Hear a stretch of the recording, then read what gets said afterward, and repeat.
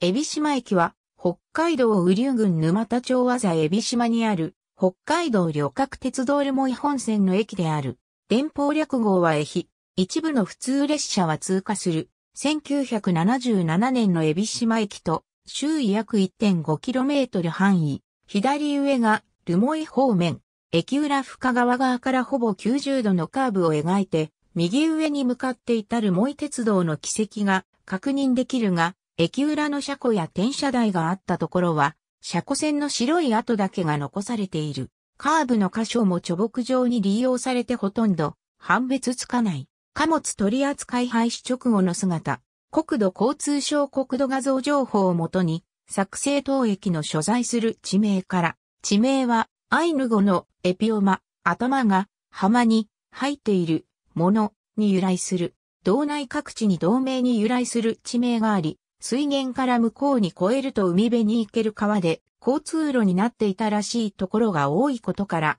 ここで言う、美はおそらく、ルモイの方を指していたとされる。また昔この付近の住民が、マシケの浜に出稼ぎに行くために川を遡っていたとのことである。単式ホーム一面一線を有する地上駅。ホームは線路の南西側に存在する電鉄機を持たない防線駅となっている。かつては単式ホーム、島式ホーム複合型2面2線を有する列車交換可能な交換駅であった。当時は互いのホームは駅舎側ホーム中央部分と対向側ホーム南側を結んだ古線橋で連絡した。駅舎側が下り線、島式ホーム駅舎側が上り線となっていた。その他1983年4月時点では、上り線の深川方から分岐し、島式ホーム外側の留萌方に至る、行き止まりの側線を一線、下り線の留萌方から分岐し、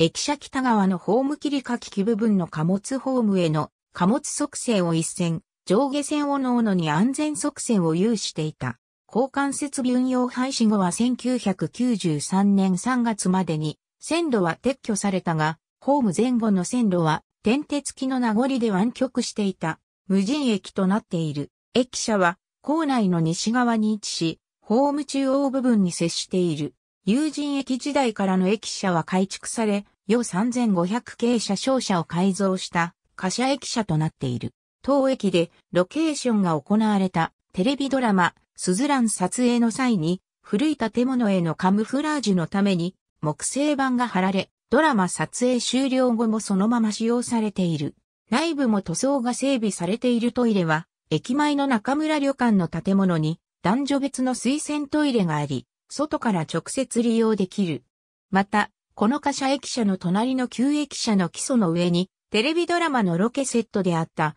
架空のアスモ駅が設置され、当駅周辺が観光地化されていることから継続して設置されている。1999年には、スタンプラリー用のアスモ駅と記載され、明日、萌え駅駅舎のイラスト入りの駅スタンプが設置されていた。これは当駅二つ目の駅スタンプであった。島式ホーム外側の3番線を発着線とし、その北側に貨物側線及び機関区を有していた。同鉄道の線路はホームを出ると深川方に進んでから左手に曲がり、北に進んでいた。同鉄道廃線後、急行内は荒れ地になっている。周辺は農村地帯である。明治時代は峠の宿と呼ばれる交通の要衝であったが、すでにかつての面影はなくなっている。北海道旅客鉄道留萌本線、石狩沼田駅新布駅海老島駅、峠下駅一部列車は新布駅を通過する。